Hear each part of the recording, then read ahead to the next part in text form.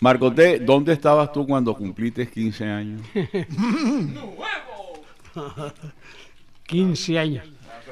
Cuando tenías 15 años, me imagino que como antes habías hecho la primera comunión. Sí, a los 12 años hice. A los 12 años hice la primera comunión. Y Con vesti- ve- vestido recuerdo entero. que a los 15 años mi mamá me negaba. No, ese no es hijo mío, ese tipo tan bandido. Así Decía decía. mi mamá, sí. A los 15 años. Arisa decía así. Ese es un bandido.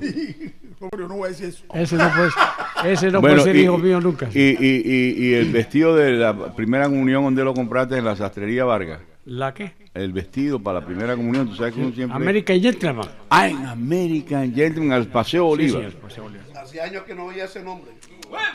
¿De, de quién era? ¿De quién, Respete. ¿De quién era American Gentleman, Marcoté? American Gentleman, un tipo Ortiz, un señor Ortiz. Un, se- señor Ortiz. Es que estamos el miércoles, que es el Remember Time del programa, y que lo dirige Marcoté Barros, este, este, este segmento de la audición satélite, recordando cosas.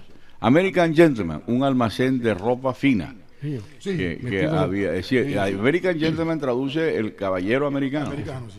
Era como Everfit también. Era como entonces el vestido de la primera comunión tuya, tu papá y tu mamá te lo compraron en American American Gentleman. Gentleman. ¿No te acuerdas cuánto costó? No, no, no. Yo sí tenía 12 años.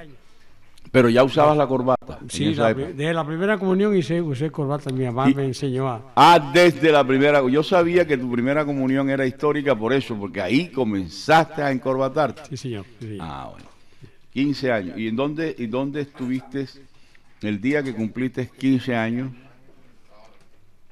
Eso ¿en fue qué- en la casa, en la casa. Ah, sí. lo festejaron en la Sí, casa. casa, sí. Para esa época no habían venido No, las no, francesas del barrio chino. No, no, no. Como no, ya ¿Qué? estaban aquí. ¿Cómo? Ya estaban No aquí. me, mamá, Pepe, si, Pe- Pe- Pe- el maestro tiene 89 barras. Cuando tenía 15, hace 74 años, esas Claro, francesas sí, la- no habían venido. Esa, llegó aquí, claro, ella llegó aquí por allá por los años 30. La De francesa. antes, la Aquí francesa. estaban las francesas ya en ese año. Sí, Claro. Ah, cuando tú tenías sí 15. señor. Sí, Ah, o sea, tú conociste a las francesas, Marco. sí, como sí, las conocí. Sí. Pero desde lejos. Desde o, lejos o- muy de cerca. Y muy nervioso. Ah, fui, estabas nervioso. Cu- Cuando las viste por primera vez te pusiste nervioso. sí, señor. Y aquí entrenó Marco. Pelado, acaba rápido. No nos oiga nadie. Tocuan. Cin- 50 centavos. Ahora, todo eso se puede decir en aras de que estamos hablando de manera inocente, porque somos Barranquilla. La gente de Barranquilla sabe a lo que nos estamos refiriendo. Si es que en aquella época de, 50 centavos de tú no, oí- no te acuerdas el estribillo de que pague uno y lleve dos. Fíjate, se crearon los eslogans, completa satisfacción o la devolución de tu dinero, Es que la- o pague uno y lleve dos. Yo no había oído nunca eso hasta que oía una de estas Los 50 muchachas. centavos no eran en moneda, eran en un billete de 50 centavos. Había billetes de Billete de 50 50 centavos. centavos. Y dijo, dijo ella, ahí tú qué crees que por 50 centavos vamos a estar aquí tres días. y, y me fui bajando.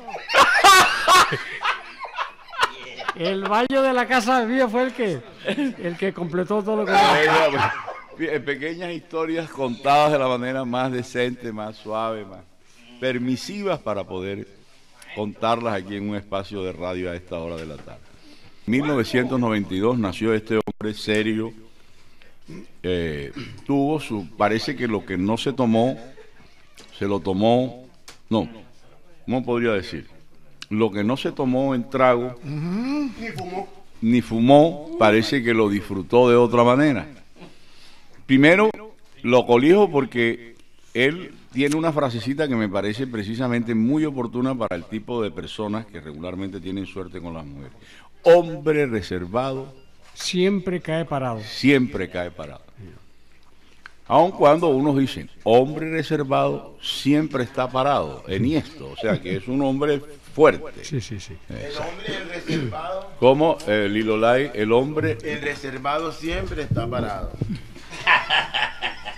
que, eh, no, por eso te digo, ¿Cómo es el refrán? El, refrán dice, hombre reservado siempre cae parado. Ah, yo entendí mal. Yo hablé, de re- entendí reservado, Hombre, parado, fue lo que entendí yo.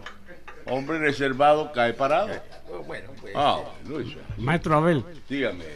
nací a las cuatro y media de la tarde de un miércoles, 19 de septiembre de 1922. A las 4 de la tarde de ese entonces, que ahora son como las 8 de la noche, pues todo va subiendo.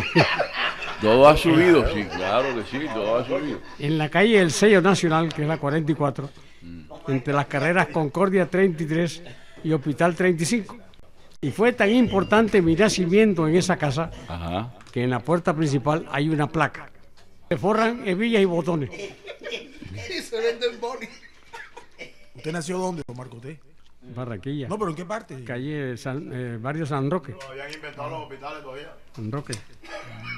Naciste con, con partera. Partera, sí. No, no, en esa No, época no, no. Comadrona, comadrona. Comadrona se llamaba, le llamaban ese sí. Llámate a la comadrona que van así el pelado y tal, yo recuerdo. Eufrosina urbina. Efusina, Euf- Eufrosina urbina. Eufro, Sí. Urbina. Eufro, Era la, la partera, sí. Me lo dijo mi mamá, pues. Eufrosina, así que se llama afrodisíaca. ¿Está bien, Marco?